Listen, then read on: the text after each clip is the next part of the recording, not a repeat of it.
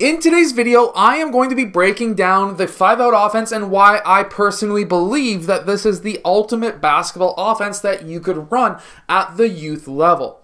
Now, number one is the five out offense is super easy to teach. There is basic plays that can be ran out of it, and you can even scale up. So if you coach a team for, let's say, five or six years, from like, let's say, grade seven or eight all the way up to grade 12, then you could literally continue to add plays and scale up while they get older. And you could literally start with a simple three to five set play basically list and then by the time they're in grade 12, you could scale up to having 20, 30, 40 different plays, and they'll be able to remember them because they're super easy. Plus, the 5 out offense can be ran against a zone as well as a man to man defense. So let's get down to check out a couple of simple plays and how you can actually scale these up.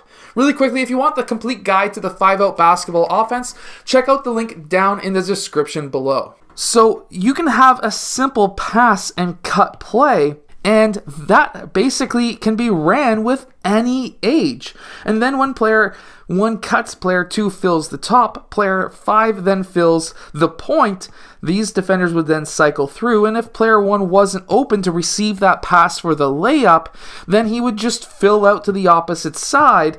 And this works extremely well for younger players, and it can even work against a zone. For example, against a 2-3 zone, this will most likely, in most cases, be a trap up top. Players 4 and 3 will then move up slightly, and at that point, when player 2 makes that pass, when he cuts to the rim, what we want to see is for him to post up in the paint, because now if we can get that entry pass into the paint, this generally collapses most defenses and when that happens, we can have, of course, player two looking to kick it out for threes or looking at the opposite side players who can then find openings to cut down depending on what these defenders are doing because now we need to teach our team how to run off ball and move off ball to find openings to cut to the basket for easy layups. So now we're teaching basic movements. You need to pass and you need to do something after the pass. So you pass and cut.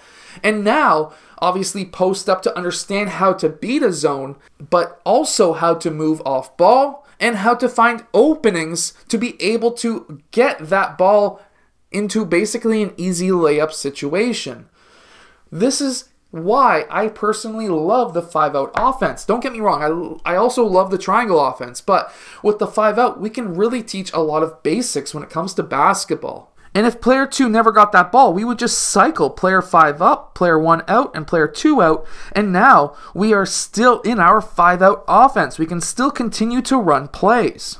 Now, going back to a man to man defense, there's other basic options that you can run out of the 5 out, which is a pass and screen away or a pass and screen for the player that you passed to. As an example, if player 3 makes a pass to player 5, we can say, okay, well, screen for the player you passed to, or you can screen away for the player that you didn't pass to. This opens up multiple different options, but let's say, as an example, we run a pass and screen away. This now can teach our players how to screen and roll, but also how to use screens. Again, very important because now we can give the options to our players as to what to do. We want our players to think for themselves. This is the whole main goal of coaching.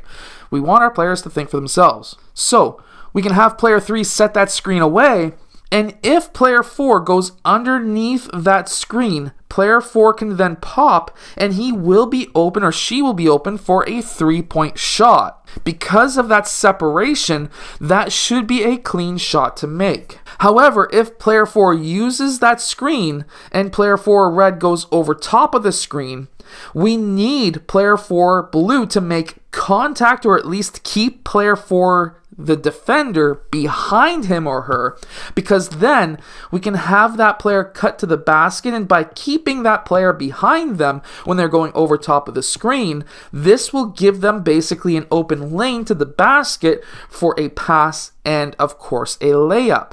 This is extremely important because now we've taught our players how to read a defender and what to do to pop or to cut to the rim after the screen. However, there's still one more option, and that is if player 4 pops up and tries to deny the screen to try to cut off the path of player 4 so that he can't use the screen. In which case, player 4 blue should be then cutting back towards the baseline, back towards the basket, because now player 3 is setting the screen here. He just has to turn and set that screen for player 4, in which case now player 4 blue has that open layup. We're now teaching how to use screens. And if we run drills to be able to teach our team how to use screens, which I'm going to show you in a bit, but also now we can teach our defenders how to play a screen. Do you feel comfortable cutting off that screen and jamming it? Do you feel comfortable going underneath the screen because maybe this guy can't shoot threes? Do you feel comfortable going over top of a screen because this guy isn't very big and maybe you can switch off or the def defense will switch off? And at that case, we may have an open screen and pop for a three. And especially if he hedges, we may have an open three in the corner. So now we're teaching our team how to defend a screen, how to use a screen, and how to set screens. And being able to learn how to use screens is super important. I understand in Europe, you guys don't usually set screens or not allowed to set screens until they get to like the high school level. However, over in North America, where most of my views come from, the they're allowed to set screens all the way from like six year olds in most leagues. So basically, this is a very important skill to have, especially when they start getting to the next level, whether it be high school, college, university, pros, whatever it may be. They will then understand from a very young age how to use screens, how to defend screens, and of course, how to screen. So this is basically a drill that I actually literally ran this morning with the team that I coach, the two teams I coach. We're going to have an offensive line here, an offensive line here, and a defensive line here. And we're going to have the first player in line.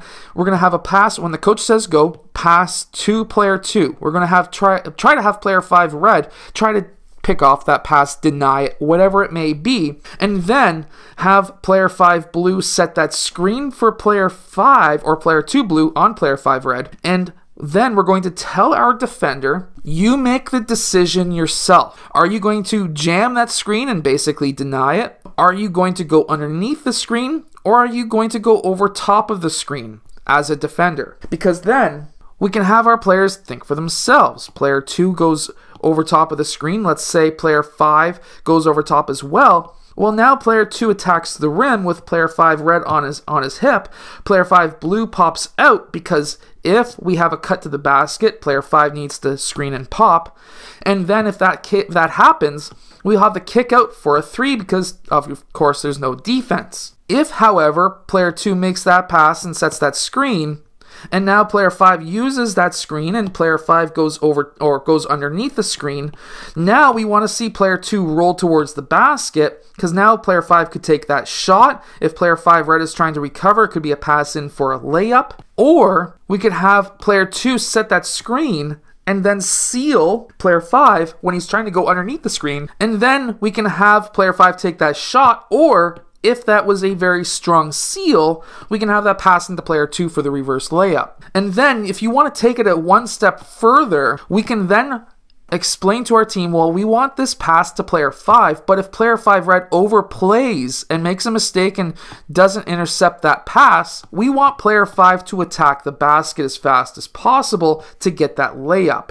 If that's a mistake by player 5 red, the player who got who has the ball needs to of course capitalize on that mistake. So this is why I personally really love running the five out offense. It's simple to run, you can scale it up. Just like any offense, you can scale up as well. However, with the five out, it's it gives you so many different options against different zones and against different man-to-man types of defenses. Of course, there's the switch everything man and so many other different types. There's Many coaches have different options when it comes to the man to man, so I'm not going to get into each and every single one of them. However, when it comes to the five out, it just seems like it's an easy play to run or easy set of plays to run. And you can run it against a man in a zone, and it teaches you how to spread the floor, how to run off ball and move off ball, and it also teaches you how to use and defend a screen and roll. I hope that you've enjoyed today's video. Make sure to go check out my complete guide to the 5 out offense down in the description below, and I'll see you guys again next time.